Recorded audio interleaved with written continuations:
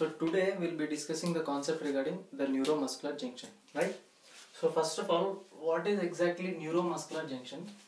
It is the junction between the neuron or the nerve ending and the muscle, right? So here you find this as your neuron and this is your muscle, skeletal muscle, right? Any any of the muscle you take. For suppose this is your biceps muscle, right? Any any of the skeletal muscle, right? So this is your nerve ending or also called as the axon terminal, right? The junction between the axon terminal as well as the muscle. This particular junction is called as your neuromuscular junction. So now I'm going to enlarge this part and explain how exactly this neuromuscular junction works. And one important thing is that uh, knowing the complete details about a neuromuscular junction is so important because there are some drugs that act in this mechanism and block the receptors. So when the receptors are blocked, then there will be no neuromuscular transmission leading to several types of muscle weaknesses. So to understand the drug action in pharmacology, you need to know about the neuromuscular junction in a detailed fashion, right? So first of all, we'll draw about regarding the neuron or the nerve ending, right? right so this is your nerve ending. I'm enlarging it and showing you. And now let me draw still more big.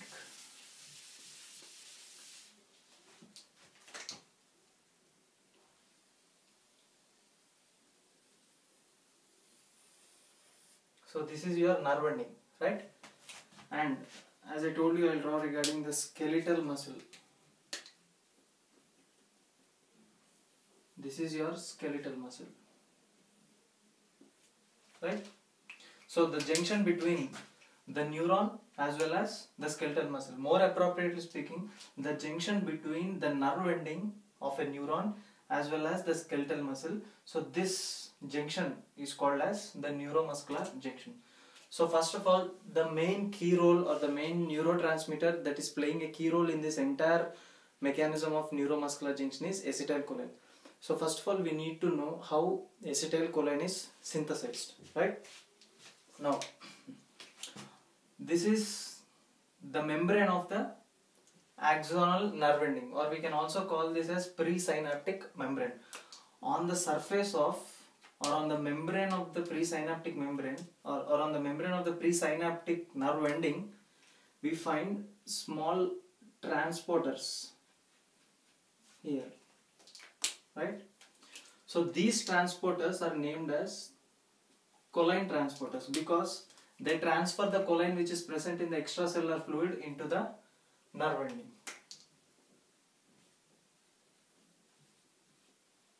Choline so this is the choline that is present in the extracellular space or the extracellular fluid. So this choline is transported with the help of this transporter protein called as choline transporter into the presynaptic membrane or the presynaptic nerve ending. So this is your choline.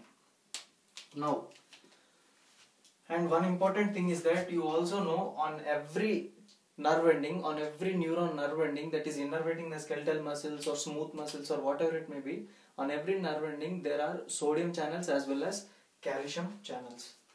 So here I will be drawing a couple of them so this is your sodium channel right? And at the same time okay. This becomes your calcium channel. So the blue ones are the sodium channels and the black ones are the calcium channels. On every uh, axonal nerve ending you find these channels. So let's come back so as I told you, the main key role who is playing in this neuromuscular junction is acetylcholine. So first of all, we need to know how acetylcholine is actually synthesized, right? As you know, you take different types of uh, dietary compounds daily, daily different types of food or vegetables, whatever you take. So as a result of the digestion, there are some molecules that are released into the bloodstream or the extracellular fluid. So one of that molecule is choline. So you can also say the source of choline is your food itself. So choline through the food, it, it when it is absorbed, when, when the food is absorbed, it enters into the bloodstream and through the bloodstream it enters into the neuromuscular junction. So now the choline which is present in the extracellular space. So let me write here extracellular space or extracellular fluid, whatever it may be. So choline in the extracellular space with the help of choline transporter, it enters into the presynaptic nerve ending. So this after entering after entering of the choline when the choline enters into the presynaptic nerve ending we need to combine the choline with one more thing that is acetyl CoA. So from where this acetyl CoA has come? In the presynaptic nerve ending itself, there are abundant amount of mitochondria, right? So this is one of your mitochondria. So there are abundant amount of mitochondria. So mitochondria through several chemical reactions and several cycles finally it produces an end product called as acetyl coenzyme A. So mitochondria produces acetyl coenzyme A. Right? Now this choline as well as acetyl coenzyme A both of them are transformed or are converted into combined and converted into acetyl CoA. Both of them are converted into acetyl choline. Not CoA, it's acetyl choline. Right? So once again, choline which is present in the extracellular fluid is transported inside the presynaptic membrane with the help of choline transporter. Next, acetyl CoA is obtained from mitochondria through several chemical reactions. Finally, the end product of mitochondria which is released is acetyl coenzyme A. Now, this choline as well as acetyl coenzyme A in the presence of an enzyme CAT CAT C stands for choline, A stands for acetyl, T stands for transferase. Choline acetyl transferase. So in the presence of this enzyme choline acetyl transferase, choline and acetyl CoA both of them are transferred or transformed into or converted into acetyl choline. So this is how acetyl choline is formed. Now this acetyl choline must enter into the vesicles because vesicles have to fuse here and release the content, right? So acetyl choline now it has to enter into the vesicles. So as you know here in the nerve ending there are different types of vesicles in abundant amount. Many vesicles are present and these vesicles contain these red molecules which I am drawing here these are the acetyl choline molecules. So actually how does this acetyl choline enter into these vesicles? So let me enlarge one vesicle and show you how does this acetyl choline has got entered into this vesicle. So this is one vesicle which I am enlarging it and the surface of the the membranal surface of this vesicle is called as vesicular membrane right? When this is your presynaptic membrane uh, and this becomes your vesicular membrane. On the presynaptic membrane what are the transporter proteins present and what are the uh, structures that are present on the presynaptic membrane are sodium channels calcium channels and choline transporters. And on the surface of the vesicular membrane what are the structures those are present are? Choline acetyl choline transporters here there are choline transporters transporting choline from extracellular fluid into presynaptic membrane. So here there are acetylcholine transporters or acetylcholine antiport we call it as right? So this gets transferred inside.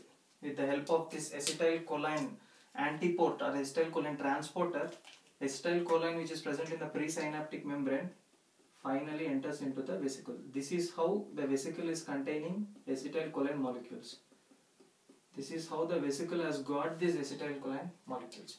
So why I am so fussy about this choline transporter and as well as this antiport, I mean acetylcholine antiport because there are some drugs right there are some pharmacological drugs that bind this choline transporter and there are some other pharmacological drugs that bind this acetylcholine antiport right? So the drugs that are binding this choline transporter are mainly one drug right? It is hemicholinium,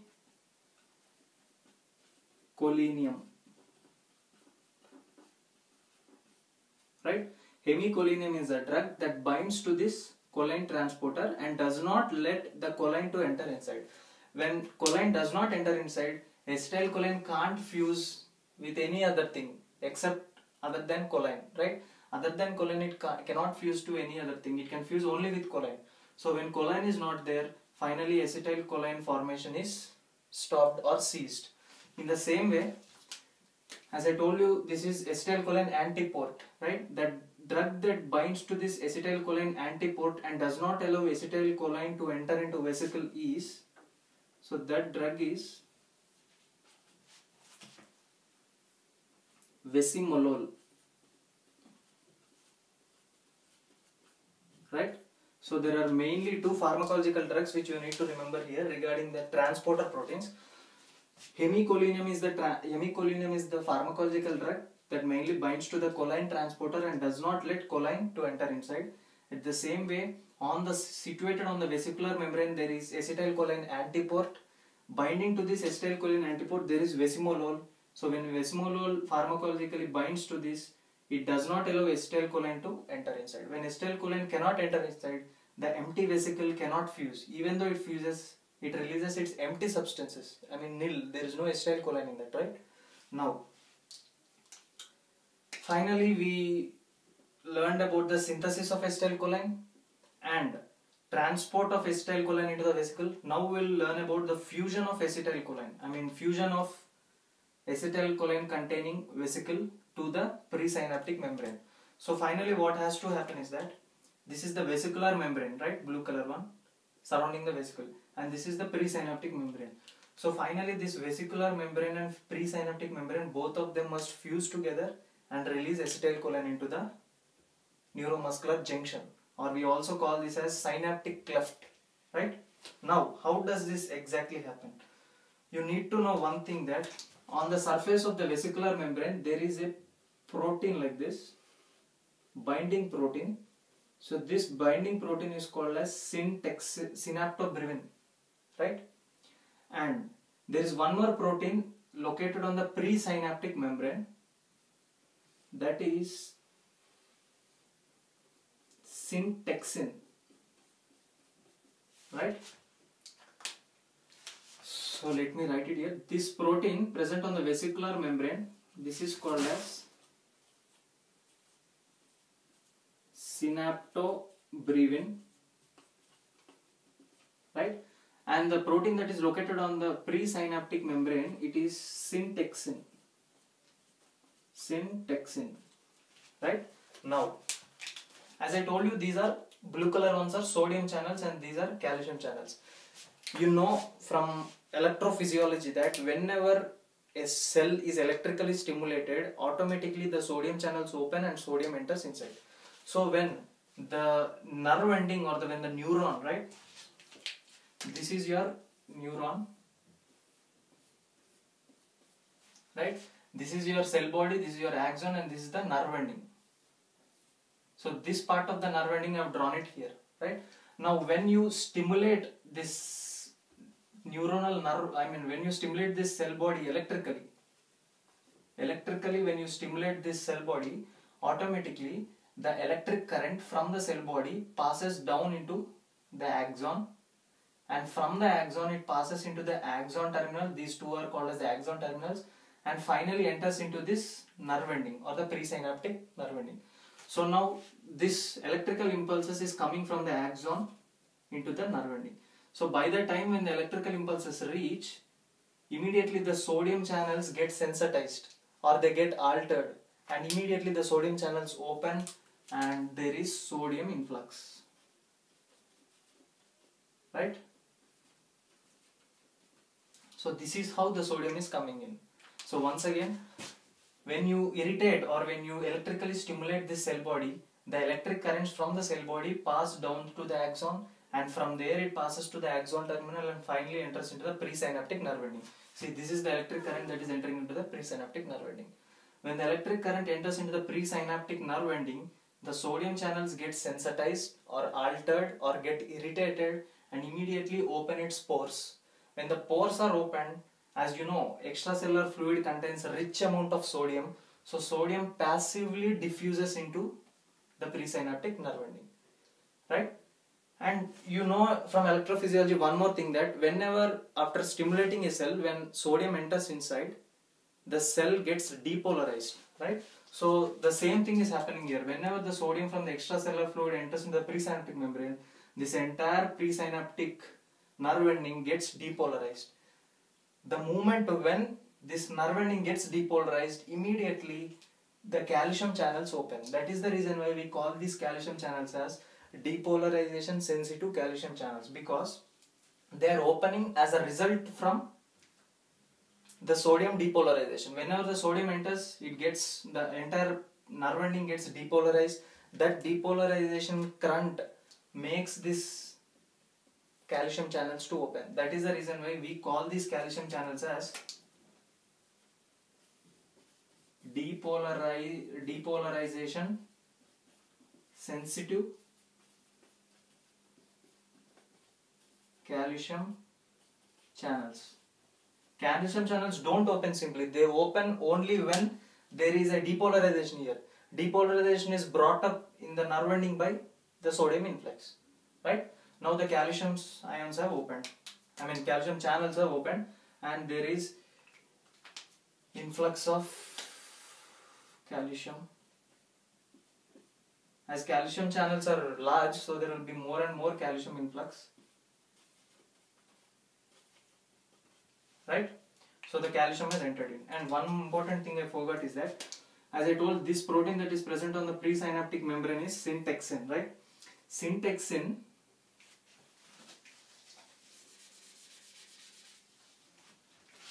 so this is your syntaxin right? Syntaxin has two stick like structures like this. So here there is one stick like structure and here the second one right? There are two drums or stick like this sticks. These two sticks whenever they are closed like this the syntaxin i mean the active site of the syntaxin molecule is closed. When these two sticks open the active sites are open right? Now these sticks are closed so that the active site is not open and this synaptobrevin cannot fuse with the syntaxin. Now as a calcium channels calcium channels got open and when calcium enters inside this calcium here one calcium ion binds and on the other stick the other calcium ion binds right? So here there are two calcium ions one calcium ion on the right stick and next calcium ion on the left stick. You know calciums are ions are positive charge so here when there is one positive charge so let me explain this. So this is one stick and this is the other stick right? Here there is one calcium here there is another calcium. And both are kept near to each other.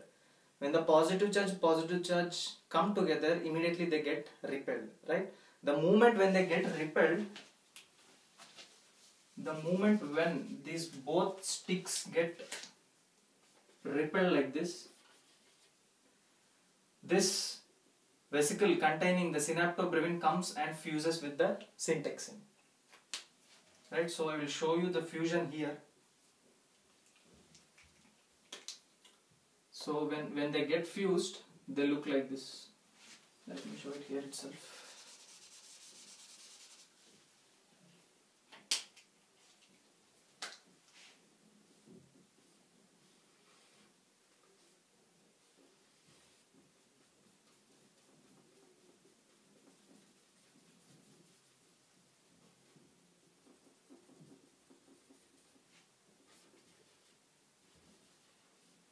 Right? So this is how the fusion takes place.